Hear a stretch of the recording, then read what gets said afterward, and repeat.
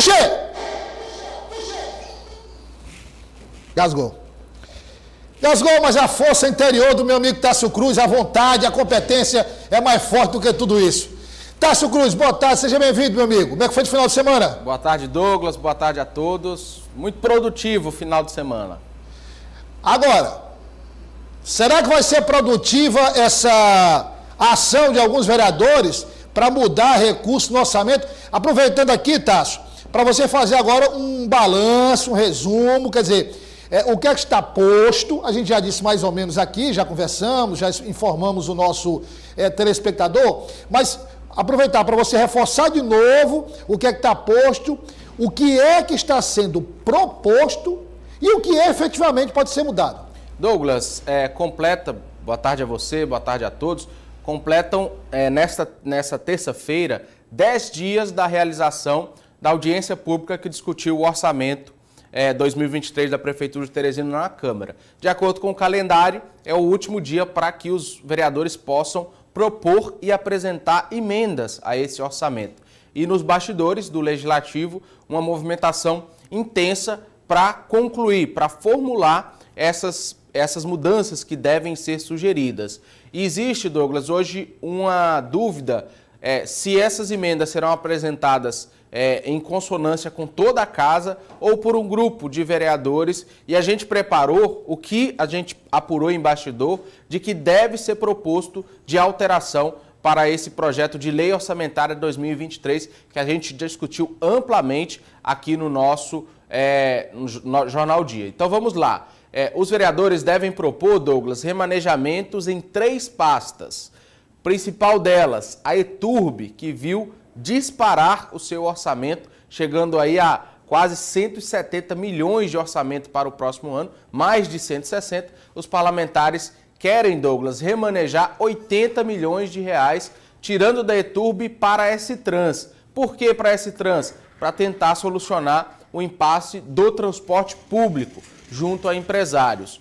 Outra proposta de mudança, remanejamento de 10 milhões de reais da Secretaria de Governo, gerida pelo genro do prefeito, secretário André Lopes, para a SAAD Sudeste, que perdeu, foi a SAAD que mais perdeu o orçamento, de acordo com a proposta do doutor Pessoa. Outra mudança, remanejamento da Secretaria de Comunicação, que ano passado nem existia e esse ano vai ter um orçamento de mais de 25 milhões de reais. A gente já destacou aqui, é um orçamento maior do que 13 pastas é, do primeiro escalão da prefeitura. E para isso eles querem é, remanejar esse, essa verba da Secretaria de Comunicação para áreas essenciais, como, por exemplo, a saúde e a educação. E a outra proposta, Douglas, essa ainda mais importante, que é a redução do poder de transferência de recursos do prefeito, baixando de 35% para 10% percentual total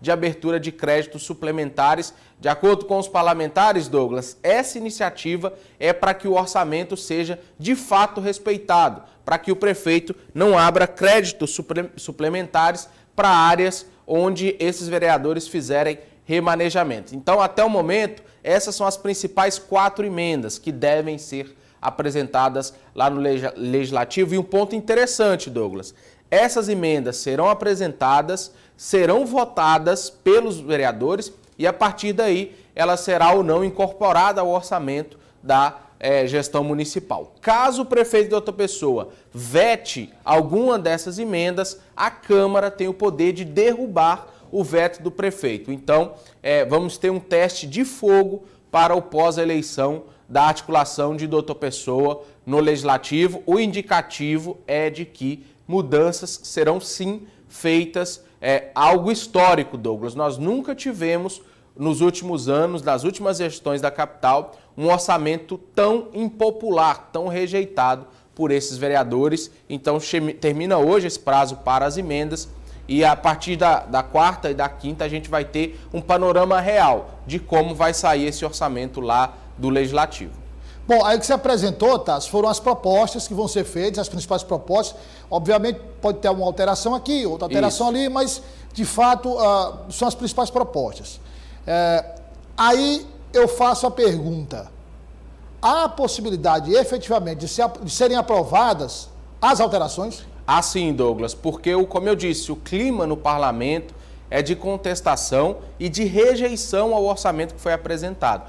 Por isso, a gente já, já explicou aqui que existe um grupo com oito vereadores independentes que são é, simpáticos a essas mudanças. Junto a eles, a gente pode somar aí cinco, seis vereadores de oposição. Aí, Douglas, nós chegaríamos a praticamente a metade do legislativo. 14 vereadores. É, aí da base, da base dele tem um bocado insatisfeito um também? Um bocado insatisfeito, é. então nós já temos 14 dos 29 que naturalmente votariam por essas mudanças. Então, é, não existe, a gente conversava e nós vamos destacar no, no Política do Dia, é, que o presidente da Câmara, Jeová Alencar, e o futuro presidente, Enzo Samuel, demonstram uma, um certo ceticismo com a articulação da base do prefeito. Com isso, é, a possibilidade de que sejam aprovadas mudanças é grande, ela existe, porque os vereadores, Douglas, eu conversava com um parlamentar mais cedo e ele me dizia algo interessante. Os vereadores estão sendo sobrecarregados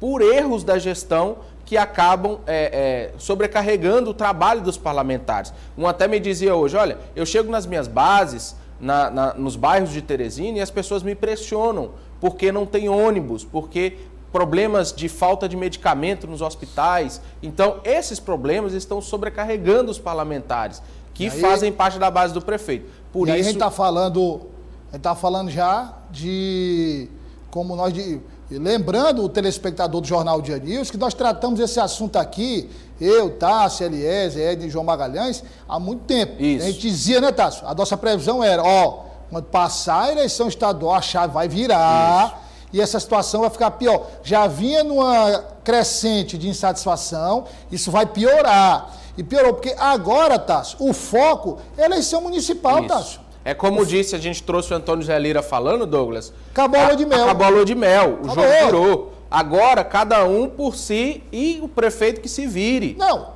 o pior que é o seguinte: no relacionamento é, conjugal, o natural é o, o, a simpatia, não é? O flerte Isso. ali, aí a aproximação, o namoro, tá? o casamento, a lua de mel, vem a vida normal, tá? depois a crise e a Isso. separação. Não é mais ou menos esse o caminho, é, Por aí. Por aí. No caso da outra pessoa, isso foi encurtado. Não é? Foi encurtado, é. quer dizer, houve o casamento e já foi para a separação. Não teve os processos intermediários.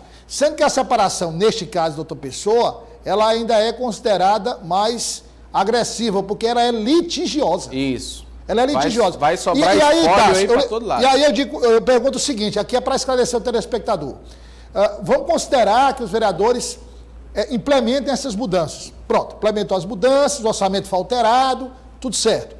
É, para a sanção do prefeito, ele pode mexer, pode. Aí volta. Aí, aí, aí se for, se ele quiser uh, ir, cair na provocação, digamos assim, vai ficar nesse vai e vem. É, não, é, o procedimento é a emenda ela é apresentada, ela é votada, ela é aprovada, ela é incorporada à lei orçamentária e o prefeito pode vetar ou não. Caso ele vete alguma mudança, aí a palavra final é do legislativo, que pode derrubar o veto do prefeito. A, a, a versão, a, você falou, a versão final é? Do, a palavra final é do legislativo. Pois é, se ele vetar alguma, alguma decisão, volta para o legislativo. Volta e o legislativo pode derrubar ou não o veto dele. Se o legislativo derruba o veto, a, a, a, a lei ela é incorporada, o texto é incorporado na íntegra à lei e, e o legislativo tem a palavra então, final. Então, então resumindo, Tasso, não, não há mais articulação que dê jeito, né? Não há, se o prefeito não é, mudar a forma ou tiver um bom relacionamento com esses vereadores, a tendência é de que as mudanças. A votação está prevista para quantas? Até o final do ano, até. É, normalmente é no início de dezembro, até o final da primeira quinzena de dezembro, esse orçamento deve ser votado é, na íntegra, como a gente já explicou, é a última matéria que os vereadores analisam. Senão não entra de férias. Senão não entra de férias. Agora, se em dois anos, ministro, é o ministro que eu estou falando é o ministro Alexandre de Moraes, o nosso. É, se em dois anos ele não mudou a forma de se relacionar com a Câmara, vai mudar em poucos dias? É. Essa é a grande pergunta, mas vamos aguardar. Tássio Cruz, política do dia. Daqui a pouco, Douglas, vamos falar sobre eleição da Assembleia Legislativa do Piauí. tem MDBista aí contrariado e a gente vai trazer os bastidores Ih, dessa disputa aí.